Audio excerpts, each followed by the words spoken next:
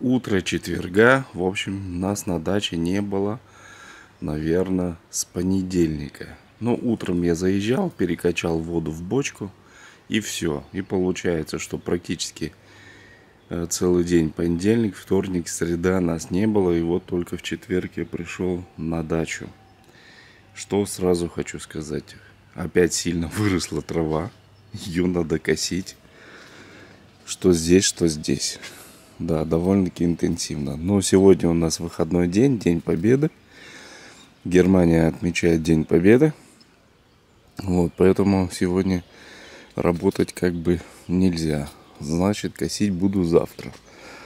Так, ну и давайте пройдемся по растишкам. Смотрите, чеснок начал давать стрелку. Она довольно-таки крупная. Что здесь стрелка появилась, что вот, это сразу бросается в глаза. Я же подрезал тоже лучок и лучок на разной высоте. Но за, за это время разная высота, она тоже немножко подросла. Это прям хорошо заметно. Так, остальной чесночок здесь. Ну да, вот стрелка появилась. Нужно будет выламывать.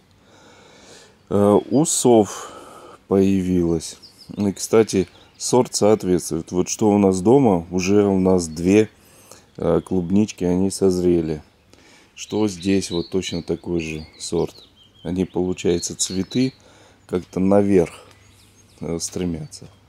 Довольно-таки большие цветы. Картофель, конечно, после того, как я его немножко подрезал, он разросся.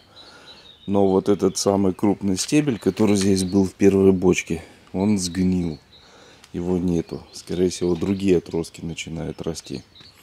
Здесь пошел в рост, потому что он как бы позже стартовал и не так подвергся заморозкам. Ну и здесь тоже. Если посмотреть на кустарники, то они пипец разрослись. Вообще начинает разваливаться. Даже там касается этого. Ну вот прирост э, в этом году. Ну вот максимум, наверное, здесь 35 сантиметров. На том больше. Это красная смородина. Она в прошлом году страдала. Вот. Также молоденький кустик очень хорошо вырос. Ну и все остальные тоже. Ну вот. И как и до отъезда, я пока что тли на этих кустиках не наблюдаю. Пионы, друзья, они скоро раскроются, хотя у меня у соседей, у них получается, что кустики а, больше находятся на солнце, они это, уже раскрылись. Но у меня открылись другие цветы. Снаружи у меня раскрылись и розы, и вот такие вот ирисы. Они полностью раскроются. В общем, такие симпатичные. Я их когда срезал тут все, все срезал. Ну и вот они сейчас начинают цвести. Эти ирисы уже цветают, а вот эти вот, они только-только. Ну и розы. Вот появились такие розочки. И вот такая симпатичная розочка. Изгородь моя тут растет вместе с фацелией. Я тут, как видите, тоже удобрял. Ну, будет расти. В общем, новый заборчик нам обеспечен. Ну и вот здесь у меня какие-то цветы появились. Я даже не знаю, что это такое. Какие-то они странные. Может быть, это фризии. Не знаю. В общем, здесь его вот начинает только-только цвести. Это гортензия. Вот. Но она еще наберет полностью свою силу. Ну, вот. Там тоже гортензия, смотрю, хорошо так подросла. Очень хорошо подросла семенами высеяны и петрушка, и укроп. А вот я сажал пучковые, смотрите, петрушечка уже так хорошо подросла, и особенно укроп. Вообще такие, они классные стали.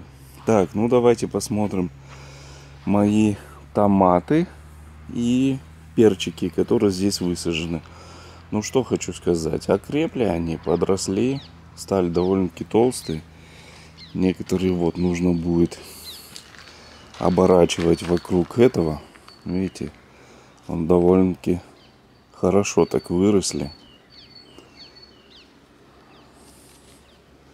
нужно будет, не знаю, сюда этот прищепку что ли поставить, чтобы он как-то стволик сформировал. Это те большие, даже вон пасынки начали расти. Вот, даже мелкие. Вот единственное, что самый мелкий такой сидит. Ну вот, но он еще, наверное, скорее всего, пойдет в рост. А это тут заметно, что пошел в рост. Вот. Растут, идут потихоньку. В этой части, в этой части. Наращивают, как говорится, свою массу. Он надо прищепкой прищипнуть. Здесь в мульче появились эти грибы, я смотрю растут. Так, чеснок. Нужно посмотреть, сколько это. Блин, ходишь по такой траве. Трава реально стала такая большая. Ну и вот здесь. Вот, под замену действительно. Здесь практически ничего нету. Да, как бы нужно заменить этот кустик. Вот. А не было же тепла поэтому не особо так и росло. Хотя вон, смотрите, появился перчик уже, растет. Так, а в грядке у нас, в грядке у нас чуть, наверное, 14 градусов приблизительно. Так, чеснок. Давайте посмотрим. Здесь вон, вижу, висит эти жимолость. Растет продолжает расти этот виноградик. Ну и тут мои деревца тоже растут. Так, вот здесь отцвело. Все, весь этот. Но скорее всего, но скорее всего здесь ягод не будет, потому что как раз пришелся этот мороз. А вот здесь, вот видите, я вам тогда говорил, что красные, они сразу видно, что они подверглись это, заморозкам. Ну и, конечно, не будет. Вот то, что осталось черешни, она еще пойдет. А все остальное, конечно, это побило заморозком. Это то, что красного цвета. Здесь тоже сколько было завязи, все это опало. Вот, ну, все из тли. Этот пока будет расти, этот тоже пока будет расти. Сейчас загляну тепличку. Несмотря на вот эти вот прохладные дни, я смотрю, что у меня здесь хорошо так вырос опять лучок. И эти огурцы хорошо подросли. А эти нет, скорее всего их здесь и не будет. Соответственно, я там принес еще два других огурчика. Я их сюда высажу. А дома у меня там стоят ну, стаканчики. Я буду опять сажать семена, ну и чтобы они взошли. Ну вот. А тогда уже буду больше сажать, потому что всхожесть такая какая-то неравномерная. Вот, смотрите, как от влаги, от дождя все это развалилось. Нужно будет какие-то трубы здесь организовать, натянуть веревку, чтобы они сильно не разваливались. Да, слишком много этого. Трава такая. И она сейчас влажная, сырая. Но были перепады. Так, вот здесь тоже та, которая подмерзла, она красная опадет. А та, которая зелененькая, вот она. Вот ей как бы еще рано черешни нашей цвести. Видите? Та, которая была подвешена это. Даже это испортилась. Так, ну, листья немножко грызут, но они это после обработки. Я думаю, что не так много. Я видел где-то здесь такой небольшой очажок, свернутые листья, но я перед отъездом брызнул в это место. Ну, сейчас не наблюдаю, чтобы где-то были, находились эти муравьи вместе с этими. Вот тут грибов повылазило, смотрите. Обычная, это у меня обычный газон. Но так как там под газоном тоже много органики, грибов тут тоже очень много присутствует. И хочу заметить, несмотря на то, что я обрабатываю и все с дерева попадает этот, видите, грибы не убиваются. Все те концентрации, которые я брызгаю, они довольно-таки щадящие. Вот здесь вот можно, наверное, будет обработать чуть-чуть листья скрученные. Ну а так все выглядит довольно-таки хорошо. Черешни много. Черешни довольно-таки много. А, виноградик мой сидит. Здесь нужно будет остатки этого рапса перекопать. И нормально будет тогда для всего. Также перед отъездом я а, оборвал зависть лишнюю. Она видно, что вот она не будет. Лишнюю зависть сам, само, допустим, дерево, вот оно скидывает. Оно так остается, как бы не живое. Я хоть и оставлял, думал, ну, по одному оставлю. Вот, где она завязала, там будут яблочки. Они крупные. Они сразу пошли, как говорится, в рост. Все остальное, даже я, если я оставлял, думал, ну, хоть одно яблочко. Нет. Все, дерево, как бы оно само все это регулирует. Поэтому именно столько этих плодов будет, сколько оно может вытянуть и сколько оно оставило у себя. Все остальное оно скидывает.